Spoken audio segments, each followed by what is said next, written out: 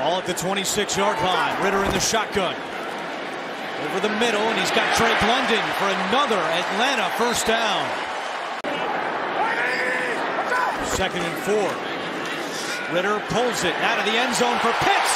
Touchdown! There is a flag down on the play, but it's going to be against Washington. This is a beautiful connection between Kyle Pitts and Desmond Ridder, and it's a connection that's starting to grow, but the layering of that throw